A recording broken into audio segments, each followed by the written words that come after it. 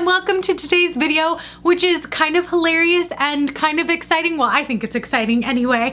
This is a part two video. I will put the first part on the screen right here, and also I will link it in the card above. The gist of today's video is an accidental thrifting haul. And what I mean by this is a couple weeks ago, my sister got her accidentally sent to my house which I opened and I showed you guys the review of the products. And I will say I loved all the products. I love them so much is that they were sticking out in my brain. And as I was out thrifting which is something that I do basically every single day I came across all of these ridiculous goodies which basically meant that I was able to build myself my own out of things from one thrift store but from multiple thrifting experiences.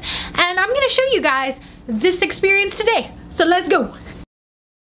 The first item up on this haul is this striped shirt, which I actually owned. And about a week before filming that video, I had donated to my local thrift store because I was like, nah, I've had it for a while. I don't need it. And then after seeing what was in my sister's, I was like, dang it, I really want that shirt back. So when I was in my local thrift store, they had it sitting out on one of the end racks for $5. So I was like, well, I guess I'm rebuying my own shirt again. And let's try it on.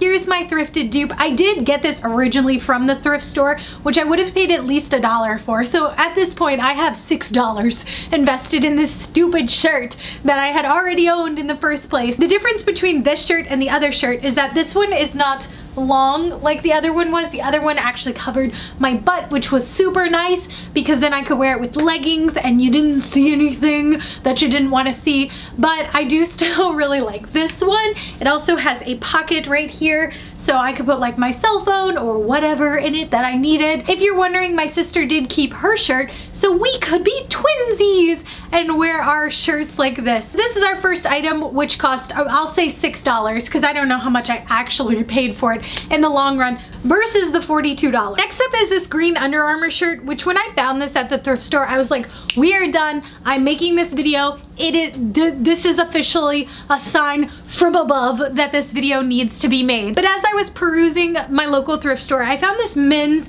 Under Armour shirt and it is in the exact same green color. Can we even? Yes, it is short sleeve. Unlike the long sleeve version that my sister had, she also kept that piece. I actually wear more short sleeve shirts when working out and I actually typically wear the men's shirts because I don't like the way women's shirts are cut. I don't I don't like it. I don't like tight shirts when I'm working out and also men's clothing is cheaper than women's. I don't know if that one seam makes a difference, but it appears to make a difference when pricing things. This shirt was $5, so let's try it on. Ooh, here it is. I'm so excited. It's really nothing special in general. It is just a normal men's Under Armour t-shirt. But here is the best part about this whole situation is the fact that when I saw this one, it came with friends.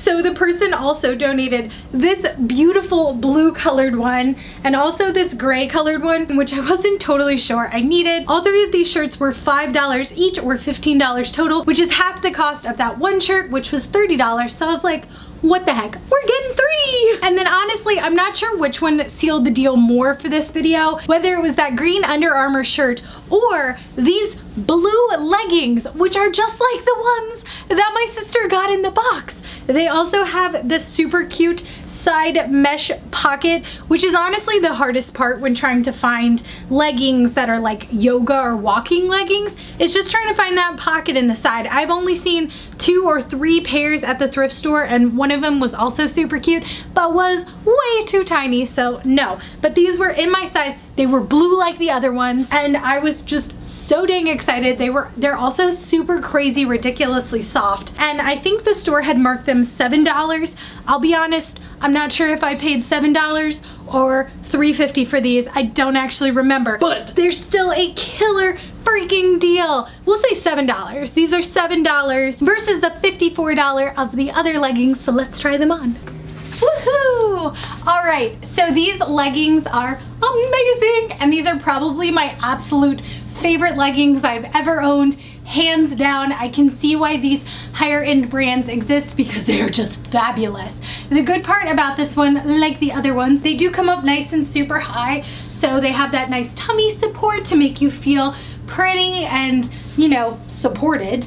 And also they come up really high in the back so if you were actually doing yoga, the best part, it has pockets. So you can put your cell phone in here. So if you are going on a walk, your cell phone's not a problem, which is awesome. And like the blue pair in the previous video, these are also fabulously too long for me. So I will again have to hem these up. But I will say the difference between this brand and the ones that I tried on in the previous video were that these are both a size medium, but this medium is so comfy. Whereas the other mediums, they fit really well in my legs, but they were just a little bit snug in the waist and I didn't love that. They just, they didn't feel great. Whereas these, I, again, I could do yoga in them. I've done yoga in them. They're just amazingly comfy and 10 out of 10 love these. I couldn't find an exact dupe for the black leggings because again, they had pockets on them and were really soft, but I did find two options. I believe these were both $6 versus the 42 of the other pair.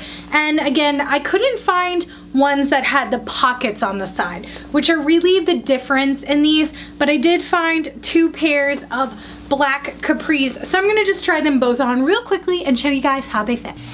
Here are the black capri pants. Again, they don't have the pocket, which is a little bit disappointing. These don't actually have any pockets in them at all. So if you needed to put your keys in them, you would have to just bring a bag because you are out of luck on this.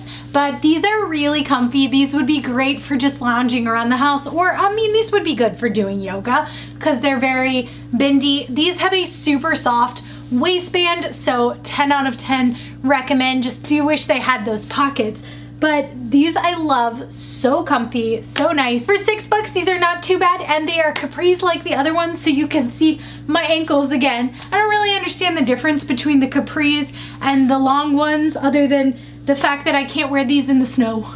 I don't really understand why I would buy capris versus regular ones. If anybody else knows, please let me know in the comments below because I don't actually know. And then last up on our list, the only item that I just didn't even bother to find a dupe for was that black backpack that was $68 and here's why. I'm never gonna use that item. Since we're in the current situation right now, I'm not going to coffee shops, I'm not really going anywhere that would that I would actually need that sort of backpack for. I do already have this one cute camel colored backpack that I thrifted for about $8 like five years ago and I literally only ever use this backpack in videos or for fashion shoots. I never ever use it normally. And then I have two other smallish sized backpacks that I use when I'm going to amusement parks, but literally never ever would take that black backpack that's super nice over just one of my $20 backpacks that I got from Target. So while I could have found a thrifted version, I chose not to because I would just end up donating it back anyway because I didn't need it. But I still wanted to show you guys a thrifted option. So again, this one's pretty cute. It would definitely hold an iPad if I had an iPad. and I never actually take my computer off the charging station. So we just all around don't really need a backpack. So I'm just gonna put this back in my cute little spot that I put props for taking pictures. Goodbye backpack. Okay, let's talk some numbers. So in the original video where I tried on all of my sister's items, the total would have been $236 if I had kept everything. And I wanna say I really did like all of the products and I also really thought it was a great learning experience because I, again, went to the thrift store and was suddenly like, these things are on my radar and I really want them and I really like them. So her box was originally $236 and I did the math on how much my box would have cost. So excluding the backpack for just the striped shirt, one Under Armour shirt, the blue leggings and the black leggings, it would have been $24. Now if we include the fact that I bought three Under Armour shirts versus one, we are now up to $34. And if we want to include the original cost of my camel backpack, that takes us up to $42. So $42 for all of these items versus the $236 of the Stitch Fix box. Say I did pretty well in my thrifting adventure. If you guys like this video, could you please give it a big thumbs up? It helps the YouTube algorithm and also makes me smile and it would mean so much to me. If you guys are not subscribed yet, hit the subscribe button down below because I make lots and lots of DIY and thrifted videos and I love to share my ridiculous adventures with you guys. And I hope you have a fantastic week and I'll see you in the next one. Bye!